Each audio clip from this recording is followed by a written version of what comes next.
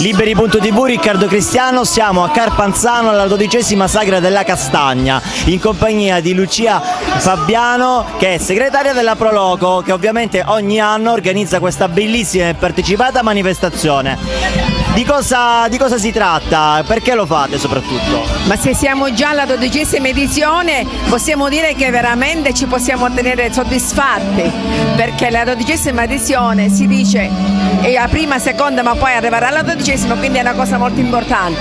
La nostra è stato un evento molto importante per i paesi vicini, specialmente per la Valle del Savuto perché oltre alle tradizioni che noi stiamo tramandando con la Proloco cerchiamo di, di chiamare anche gente perché come ho sempre detto noi non vogliamo morire in questi paesini piccoli, vogliamo vivere, vogliamo andare avanti. E per andare avanti abbiamo bisogno di tutte le gente, di tutte le persone che vengono a Carpanzano, perché ci sono cose belle da vedere, anche se sono piccoli questi paesi, diciamo che sono piccoli borghi, dei piccoli scrigni che devono essere rivalutati, che purtroppo non, si, non sono valutati da nessuna persona, ma noi cerchiamo nel nostro piccolo di fare qualcosa di di buono, qualcosa di buono perché noi crediamo in quello che facciamo e la Proloco di Carpanzano penso che sia molto attiva nella Valle del Savuto e un ringraziamento principale a te Riccardo che sei venuto e a tutte le altre persone che ci hanno onorato a Carpanzano.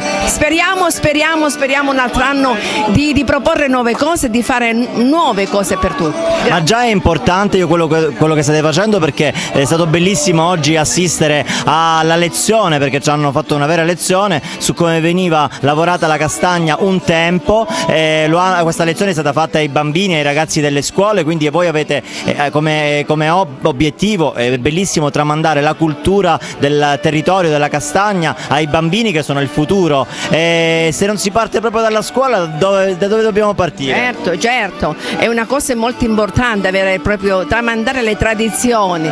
Sì, siamo nell'era dei telefonini, di internet internet, però queste tradizioni penso che bisognerebbe rivalutarle, ecco, ripartire dalla castagna per finire poi ad altre cose più importanti, ma la castagna diciamo che è il primo passo.